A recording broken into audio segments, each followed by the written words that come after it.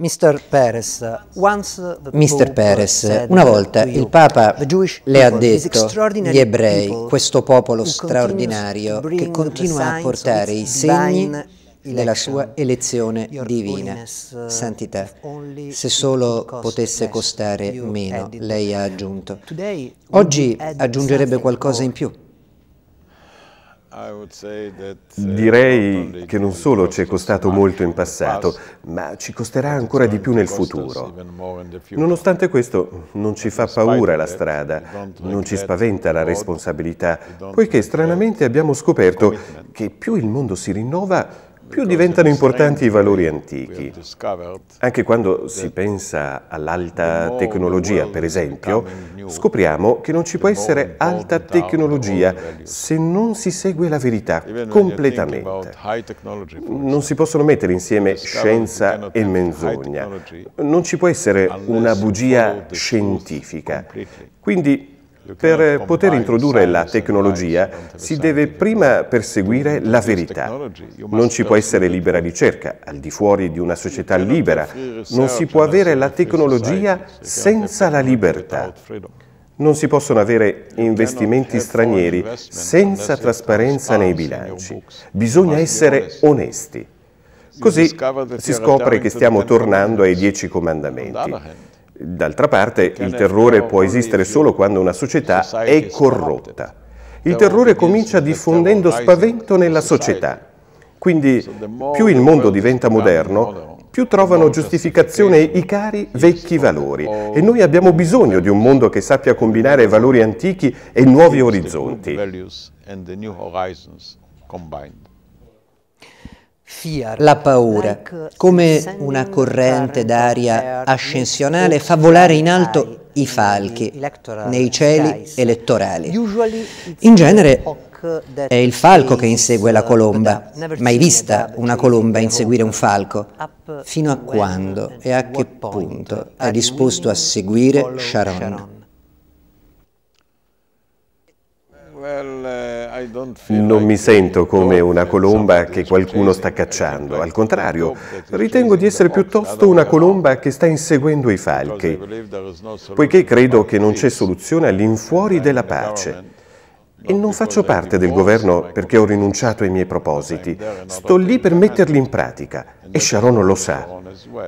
Provo a fare del mio meglio, giorno dopo giorno. A dispetto del fatto che abbiamo perso le elezioni, stiamo mantenendo aperta la strada della pace.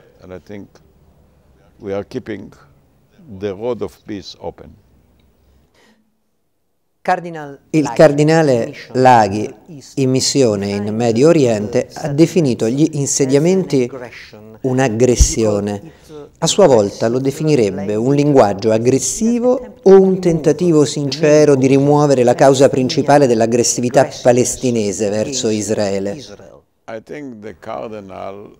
Penso che il cardinale abbia compiuto un errore di grammatica, dal momento che ha confuso i tempi.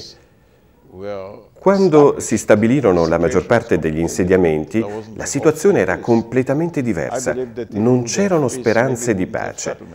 Credo che se avessimo pace non avremmo insediamenti, ma dal momento che c'è stata guerra gli insediamenti hanno svolto una funzione difensiva. Non si può giudicare il presente da una situazione del tutto diversa che esisteva in passato. Sa, non importa che cosa fa nascere un bambino, l'amore o un incidente di percorso.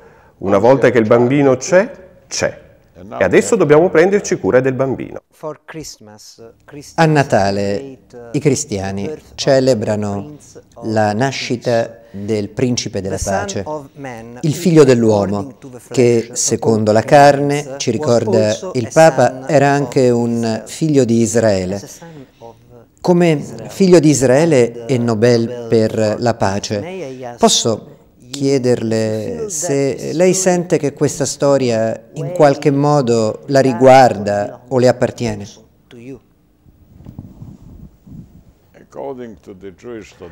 Secondo la tradizione ebraica, il primo essere umano fu Adamo. Adamo non era ebreo, né Adamo né Eva. La morale della storia è che tutti noi siamo prima di tutto esseri umani. poi diveniamo ebrei, cristiani o qualunque altra cosa. Non posso negare l'evidenza storica che Gesù Cristo nacque da una famiglia ebrea. Nessuno ha il potere di cambiare la storia o di modificare il passato. Ritengo noi abbiamo la nostra concezione, come lei sa, che il Messia non è ancora arrivato. Ma non è una ragione per cui non debba rispettare il modo di vivere dei cristiani, il loro credo, e rimanere ebreo allo stesso tempo. C'è molta preoccupazione, non solo nel mondo cattolico, nella cristianità in generale, per l'annunciata costruzione di una moschea a pochi metri dalla Basilica dell'Annunciazione a Nazareth. Israele è un paese piccolo, ma c'è abbastanza spazio per costruirla altrove e abbastanza problemi per aggiungerne altri. Siamo profondamente consapevoli della preoccupazione dei cristiani per la costruzione delle moschee, della moschea di Nazareth, e stiamo cercando il modo di non urtare questa posizione. Per adesso, infatti, abbiamo rimandato la costruzione al fine di cercare un compromesso o un'alternativa. Faremo tutto ciò che possiamo per non ferire i sentimenti del mondo cristiano. Un bel sogno? È il più realistico dei programmi politici. Lei è solito dire, e il suo sogno è noto, Israele come Venezia, un ponte di rialto tra l'est e l'ovest, ma la realtà non è un sogno, è un incubo. E molta gente al posto di un ponte vorrebbe un muro. Cosa sarà Israele in futuro? La Venezia o la Berlino del XXI secolo? Non si può vivere circondati da mura. I muri hanno perso la loro funzione, poiché ci sono sempre missili che possono sorvolarli, si trovano sempre armamenti capaci di superare una trincea o un recinto. Non esiste alternativa alle buone relazioni. La migliore arma al mondo sono delle relazioni giuste. È più importante avere buone relazioni che armi efficaci tra i popoli. Credo che ciascuno lo scoprirà e ci accorgeremo che le buone relazioni rappresentano la vera risposta politica anche in campo economico. L'Europa versava in guerra in uno stato di belligeranza, separazione e quant'altro per centinaia di anni. Eppure, guardi, nel giro di tre rapidi anni l'Europa è cambiata completamente. Il conflitto politico non è stato risolto per via politica, ma economica e sociale. Quanto è accaduto in Europa succederà in Medio Oriente.